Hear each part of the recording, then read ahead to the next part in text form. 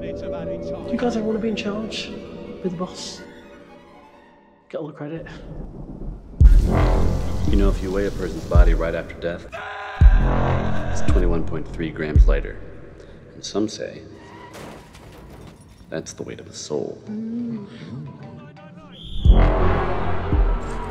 I'd like to be reincarnated as a tiger. And then ravage anyone who looked at me wrong.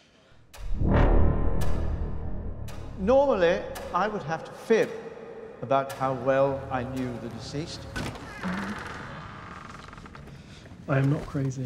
Oh, you scared me. But in this case, he came to church every weekend, sitting right over there, paying attention to every single word on his phone. With all due respect, it's different for me, Miss Welton. I know what I want. Can you make me famous?